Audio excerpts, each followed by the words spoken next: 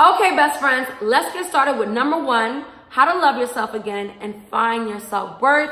Number one is extremely important because this is the first step to your self-love self-love journey. You have to do this in order for you to see a drastic difference almost right away. Number one is start by cutting off people and places that emotionally drains you. Okay, maybe the reason why you don't feel like yourself is because you're giving too much of your time to people and places that don't elevate you, don't level, make you level up, don't motivate you. What I mean by places, I mean your workplace. A lot of people don't talk about this, but we need to talk about this. You know, I was a waitress for seven years at Red Lobster, and on the, it took me seven years to realize the reason why I wasn't so, I was, I really wasn't happy, and I saw myself changing, like having a bad attitude and not my happy-go-lucky self, is because that job literally drained me. It's not even a company itself. Like Red Lobster, to work for that company, you know, it really put money in my pocket, but to deal with customers, rude customers, to deal with petty, you know, um, coworkers and petty managers. That can take a toll on you. So maybe you see a shift in the way you, you're acting lately. Take a look at your job. Are you happy in your job? Is it causing you depression? You know, I used to, the only reason why, you guys probably like, why would you stay in a job that you were so depressed, you know, for seven years? Because I was on my own since I was 21. I had my own apartment. So um, working as a waitress was the only way in my head for me to get money enough to take care of myself, take care of my rent, my bills, because it's expensive. Okay, my rent back then was like what, $650 and that was a lot to me back then. And um, so I used to work at Red Lobster because every time you work, you get money. You could go in there with a dollar and come back, you know, and make $400 for the night, $200 for the night. Quick and easy, fast money. But then I told myself, is money worth your peace and your happiness? Because you're losing yourself, sis. So if my my story working at the Lobster, you know, reflects what you're going through, then sis, you gotta take a step back and ask yourself the same question that I asked myself. Is the money worth your peace of mind? Is the money worth your self-worth? You know, I was also upset because I wanted to be a manager and they never turned me into a manager and I was so upset because I knew it, I knew Lobster, I could waitress in my seat. I could do like eight tables, flip like eight tables. I knew the ins and outs, but you know, that didn't happen for me. I never got promoted. I was just stagnant in a job that was literally depleting me of my joy and happiness. My effervescent, bubbly self, I wasn't no more. I had, I started losing patience. You know, I, I would, I would even, I was too tired to go out with my friends, like, or too tired to come visit my mom and stuff like that. And when I did visit them, any little thing they did irritated me. And that's when I knew it was time for me to get out that goddamn job. And my mom used to always tell me that. But I used to be like, are you going to help me? Like, don't worry about it. Like, you're going to give me money? And all money is not good money. Let me just say that. Okay, so maybe you are a waitress, maybe you even an exotic dancer. 90% of exotic dancers, after they finish dancing, they always tell people like, you know, the money was good, but I wasn't happy. Even Eve, the rapper Eve said that in her earlier interview, she was pretty much saying that she made the most, she makes thousands of dollars as a stripper. And she was like, why am I not happy? Why am I not happy? And she just realized like, this just isn't for me. I'm not going to degrade myself. I'm not going to do this. But you know what? I don't even judge you ladies. You know why? Because it takes time for you to, for it to hit you like, okay, this is what's causing me to act this way. I need to act on it right now. I need to quit. Do I got to do so I can be happy? So if you got to do what you got, do what you got to do. I'm not, who am I to tell you to, to stop doing something when, you know, that's how you make your money. But there's other ways to make money. You know, once I took my channel serious, I was able to do this full time and love what I do. You have to do things that you love, that you're passionate about, so you never feel like you're working. I'm, I, am i am telling you, like, it, you'll feel so much better when I say about cutting off people, it's not just, you know, your man, cut off friends. Um, family members can be extremely toxic. A lot of you say you have an estranged relationship with your mother. Sis, it's time for you to move out. Move out because I noticed when I moved out, me and my mother, we was always close, but for some reason, as an adult living with my mom, I just couldn't. Like we bumped heads a lot. But the minute I moved into my own spot, we are the closest we have ever been. So sometimes you know, it takes quitting your job, you know, distancing yourself or moving out of a place that you got to be faced with arguing with your siblings or arguing with your family every day. Maybe it takes you to move out. To quit your job or even altogether just move to like Atlanta or like somewhere else like Florida where it's sunny all day to improve your mood and improve your overall life. We have one life to live. You're going to live it struggling. You're going to live it in a toxic relationship with fake ass friends, with, with surrounded by people you can't really talk to because if you do, they're going to judge you. Come on now. This is about you. You got to fight for your life. You got to fight to love yourself again. You got to fight for your self-worth journey. This is going to take a lot of tears. Let me just say, I, all these steps took me years to master. I wasn't this confident and I, ne- I wasn't this happy. It took years, trial and error. I used to sit down and talk to God like, you know, I know I prayed for a job. I know I prayed for friends. You gave it to me, but I'm not happy. And, and then I realized Sis, Paige, God didn't give you those people. You chose those people. Because when it's God, it flows. When it's you, it's forced. You gotta always think about that. When, when you have a new circle of friends and you like, oh, I'm so happy. My last friendship told me that, like, I was so happy, but no. God puts people in your life to show you for lessons, not blessings. You know? So stop being around people thinking that they're blessings and the whole time you're sad as hell. You know? I'm telling you, like, it's crazy. Number two, how to love yourself again and find your self-worth. Number two is practice celibacy. I know a lot of you ladies like, er, skirt, what? Uh-uh. No, sis, like, I, I, I agree with number one, but number two, I can't. Why should I be celibate? How's that going to help me with my self-worth, self-love journey? Well, let me tell you. Practice celibacy. This will eliminate men coming in your life with bad intentions and will help build your self-worth. So maybe, you know, you've been in toxic relations, toxic relationships after one, like one another, just bad relationships. You talking to guys, you're dating guys, they don't take you serious. They just, they sleep with you. You know, the sex is great, but everything else they lack. They're not there for you. They're not, um, they're not trying to bring you home to their mom. And you're like, damn, I'm a good woman. Like, why? You know, these guys are not sticking. Every time I like someone, they're not sticking. Number one, you're probably giving it up too quick. Guys, you know, they like it at the moment, but they're not going to respect you. Deep in their mind, they can be like, all right, this girl is my Melanie Fiona, Fiona my 4 a.m. smash and dash. Number two, when you abstain from sexual intimacy, you know, you you have a clearer mind. Now you know exactly what kind of man you're dealing with. Because we sleep with men that are bad for us, and because it's so good, honey, we stay. And do you know every time you stay with a man that literally uses you, that literally doesn't value your kitty cat, you diminish your self-worth? Do you know how hard it is to get back your self-worth after you let men after men just use and abuse you? It's not going to be easy. Some women never bounce back from it. Some women never regain their self-worth and love themselves. They feel like if I sleep with a guy, uh, he's going to love me. If I sleep with him, it's going to make our relationship closer when it's not. You're going to find yourself, you know, you're going to find yourself feeling empty inside, like there's a void. There's a void because you guys don't have a real connection. The only connection you have is sexual. You know, I've been celibate, a, uh, what is it, a year and three months now. And it's been, I've been, I feel so strong and I feel so in control of myself. All because like, I don't just like I'm not sexual. I'm not, you know, I'm, I'm not physical with anyone.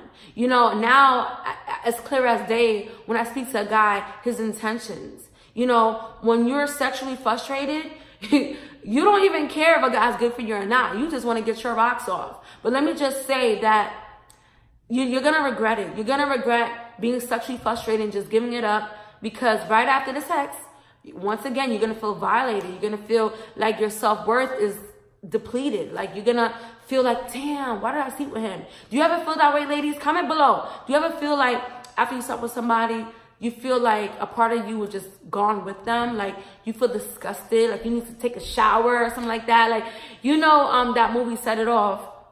Jada Pinkett, uh, she really wanted her brother to go to college. So she slept with some older guy for money and she came home and I'm so happy they showed that scene because that that can really um I feel like that scene is what happens in real life. Girls sleep with guys for money or they sleep with guys because they're cute and they're left with nothing. They're left feeling less than. And that's exactly how she felt. She went home, she took a shower, and she was just trying to scrub it her dignity off her. Like she couldn't believe that's what she had to do. And come to find out, her freaking brother never enrolled, enrolled in college. So she felt so disgusted with herself. You know, a lot of times women, you feel disgusted with yourself. You, you feel less than, you don't feel like you're worth it because you've done some crazy things in your past. But your past is your past. You are in power of your future. Okay? Period. I don't want to hear no sob stories. I don't want to hear you can't bounce back. Let me tell you, you can bounce back from anything in life. As long as you have God, you, you, ooh, as long as you have God, you can bounce back. Because maybe people won't be forgiven of you, but he is definitely forgiven of you. Which brings me to number three. Number three is pray. Ask God for strength and guidance to heal who and what broke you. Um, let's say you really want to find your self-worth. You don't even know where to start. Sis, start in prayer. When you start in prayer, you come in as a cat, you come out as a lion. Anytime I get anxiety, because you guys know that, well, I don't know a lot of you probably don't know, but I suffer from really bad anxiety to the point where I was actually diagnosed with generalized anxiety disorder. Like, it's uncontrollably, uncontrollable. Like, I could talk myself into not getting anxious about something, but it just keeps rewinding in my in my mind. Like if I have a problem, I have to solve it, or it's gonna take control of me. And then I prayed to God. I said, God, I know I was diagnosed with this, but I know that you are bigger than any type of diagnosis. So God, please, in the name of Jesus, heal me. I know that you're in control, you know. And then I saw this quote that said, when you stress and have anxiety over something, you know, it's like putting yourself through it twice. A lot of the times people have anxiety about things that's going to happen in their life that doesn't even happen. Your thoughts, oh my God, your thoughts is extremely powerful. How you think about yourself, how you feel about yourself can literally change how people perceive you, how you perceive yourself. Let's say you're not that confident, but if you show up confident, like right now, you guys think I'm so confident. Earlier in my girl talks, I wasn't so confident. I used to doubt myself. I used to feel like, oh, what if I don't get this amount of subscribers? I'm not that funny or I'm not that interesting, you know? But then I said, you know what? Just do it. Don't try to don't project that. If you project that you're not confident, if you project that you're not going to get followers and subscribers, it's going to show on screen. So, you know, you know, go out of your comfort zone page and really just be your most confident, most happy-go-lucky self and see what happens. Now, over 500,000 subscribers later, you guys love me and you guys, and I'm, I'm just so happy. And it's just been a long time coming because it's not easy. I know it's not easy finding yourself and being confident when you don't want to be confident. So that's why you got to start with prayer. When you start with prayer out of nowhere, like, you're just gonna feel like better again. Every time I pray, I feel better. I can talk to my friends, my family, my mom, and yeah, I feel okay. But when I talk to God, I feel like the Holy Spirit is in me. Like, and I'm not trying to offend anyone anyone that doesn't believe in God. This is just what every anytime I do a girl talk, I talk about things that work for me. Prayer works for me and it works for millions of people around the world. Let me tell you, like oh my God, I've been in my room crying and no one can help me. I felt so alone, but then I, I prayed to God. I, I started singing gospel music and I felt so strong. I felt so good. And I want you guys to feel good and strong too. You know, so start with prayer. All right, Bella Gang, let's get started. Okay, move on to number four. Number four, how to love yourself again and find your self-worth. Um, don't allow anyone to walk all over you. Be kind but assertive, loving but real. I used to have a lot of people walk all over me. That's why I'm always preaching about speaking your mind, being assertive, because if you don't, people will take advantage of you. You know, it's crazy that when you have good people in life, instead of appreciating good people, they want to just use you. They want to change you. A lot of people that affected my life did change me. Then I had to say, oh no, Paige, you can't be like this. You can't be mean to people that's nice to you. I started being mean to people that was nice to me because I felt like, mm, what's your hidden, what's your hidden agenda? What's your motive? What's your intentions? You know, but not everyone deserves that side of you. Okay. So you want to pick and choose your battles. You know, some people really, um, love you and you just push them away because of everything that you've been through. You can't do that. If you want to regain your self-worth, let let people know how you feel, but then go right back to being your happy-go-lucky self. Right back into your confidence. Right back into, you know, the, the woman that everyone looks up to you for. You never want to be like the people that changed you because you're going to be exactly like them. All right? Don't be mean. Don't be nasty. Don't seek revenge on people. Let God handle your enemies, you know, and um, if anybody got you effed up, you let them know, but keep it pushing and keep it moving. You know, because the longer you stay mad, it's just gonna conjure up in your heart and your heart is gonna be just ice cold. You're not even gonna be able to feel no more. You're gonna be numb. And that's that's the last thing you wanna do is be numb. The last thing you wanna do is be a person that nobody can stand and a person that nobody wants to be around. All because you're hurting inside. And I always, every time I look at someone that's acting out, I just, you know how there's a quote that says, damn, who hurt you? Like, why you like this? It's real. You got people that really are hurt and they don't know how to deal with it, you know? And they, you know, sometimes you can lose yourself in that hurt and pain. This video is about self-worth leveling up. You can't level up if you drip drenched in pain. You just can't. It, it won't work for you, you know? And I'm here to tell you that, like I said before, you can get through anything. Anything, anything, anything. Don't ever, you know, let what you've been through in your past dictate your future. Because that's going to be a, a sad life. I'm telling you this right now. Number five, my final tip, how to love yourself again and find your self-worth.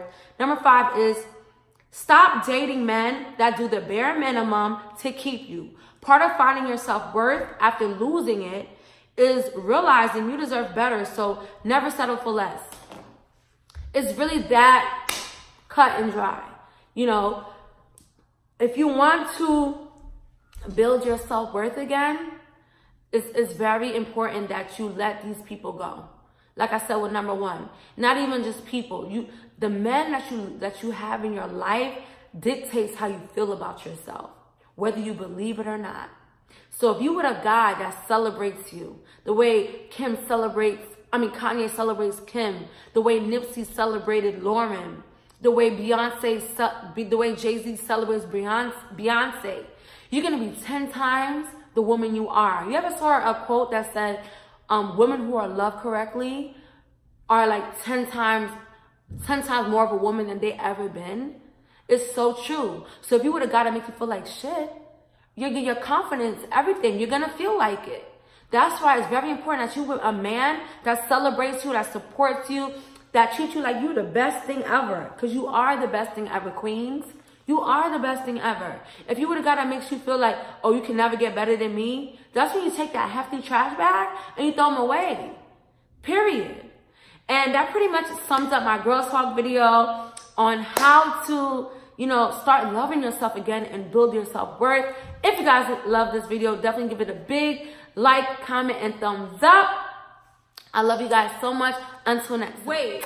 Hold up, Bella Gang. I cannot end this Girl Talk video without telling you guys about this hair. I'm currently rocking ISEE Hair 613 Blonde, 22 inches. This hair, oh my God. I was really skeptical about um, having blonde hair again. As you guys can see, I haven't had colored hair in a while because every time a company would send me like blonde hair, I would wash it and prepare, the, you know, and, style the, and style the wig unit. And I couldn't even style the wig unit because it would tangle up when I washed it. Lucky for me, I'm very thankful that ISEE Hair has really great quality 613 hair. I wash and condition this hair.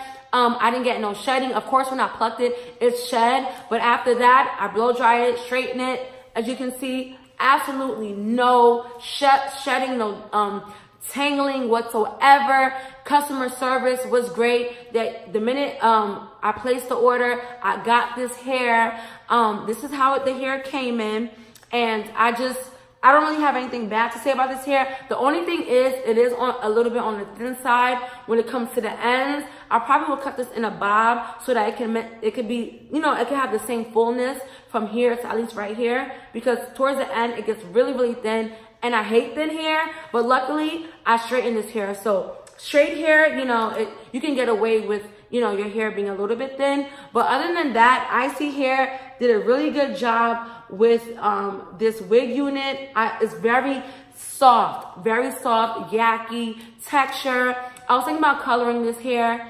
Um, I really have nothing bad to say about this hair. Usually I could, I could say, mm, I don't like this, I don't like that, but I really love it. It's it, it took well to heat. You know, a lot of the times when you put when you apply um, heat to colored hair, you know, the iron, it will start shriveling up. But this is really good hair quality. So if you're thinking about, you know, coloring your hair, but you need a good um, uh, and, and, and trustworthy hair company, definitely go with ISEE Hair for your for your colored wig units or any wig unit. I'm gonna link their information in the description box below. Once again, this is a straight texture 22 inch hair from ISEE Hair. I love it so much. Oh my gosh. But anyways, I'm gonna end this video. Thank you guys for watching.